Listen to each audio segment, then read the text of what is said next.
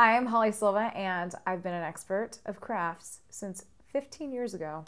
15 years I've been doing this. So, I'm going to show you today how to make a bumblebee Valentine's card box out of a cereal box. So, here I have a cereal box that I broke down. I broke it down real hard. And so, I'm going to take every edge and every crease that once existed one way and I'm going to flip it over and make it exist the other way now, okay? So now instead of color, we're gonna see color on the inside and brown on the outside. And using our double stick tape, we're going to attach these edges together and we're gonna recreate the box. We're not reinventing the wheel, we're recreating the box. Two different things. We're going to be thinking outside the box too, but that's a different subject. That'll come later. So make sure it's nice and secure and all of your corners are nice and cornery. And then you're going to flip it over and make sure that it fits and it works. And does it? Does it? Does it? Yes, it does. Kind of. It has to. It's going to. Okay, there we go.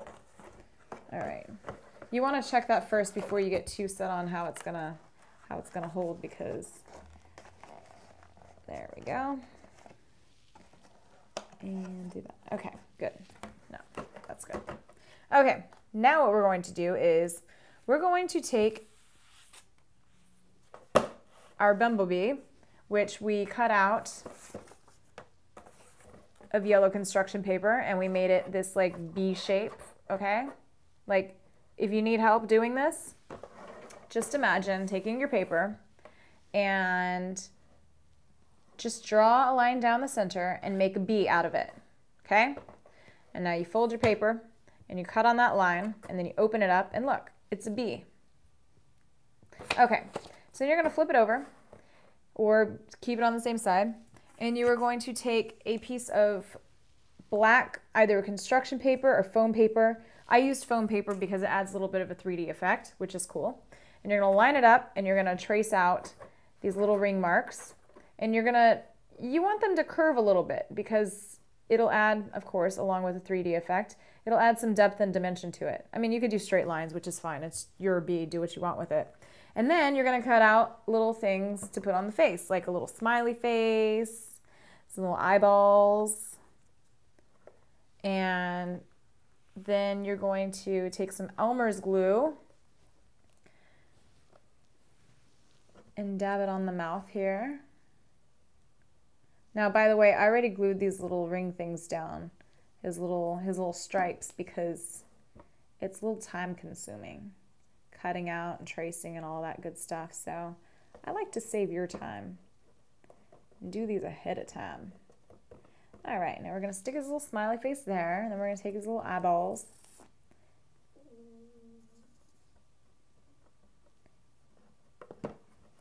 We're gonna take his little eyeballs and we're gonna glue them on with Elmer's glue, and you can make them as close as close together as you want. I think close together, some big eyeballs close together, that's really cute. And then we're gonna take some Elmer's glue again, and we're going to drop some little dabs there, and then we're gonna take our googly eyes and drop our googly eyes onto the big eyeballs somewhere. Again, with the 3D thing, you know? And then, because what is a paper pet or a paper anything without googly eyes? Come on now. Okay, so we're to slide this guy over and make sure that he fits on the box is probably like first and foremostly important. And then don't forget to cut out a little stinger because what is a bumblebee without a stinger? So this time we're just going to glue him on there and then glue that. Now he's got a stinger. Now we're going to look at him and we're going to make sure that he fits. So we're going to make sure his stinger is straight and then we're going to say, oh, this is how we want it. No, we don't. We want to keep him down there. Why? Because we're going to attach something else to it. It would not be a Valentine's Day box without hearts, right? So we're going to take this little heart and we're going to stick it on here. And then we're to take another little heart And then we're gonna stick it there. But guess what? Our bumblebee still isn't stuck. He's gonna fall off. No, he's not though, because we're gonna stick him with some Elmer's glue. And we're just gonna trace around his little, his little bee body. Like that.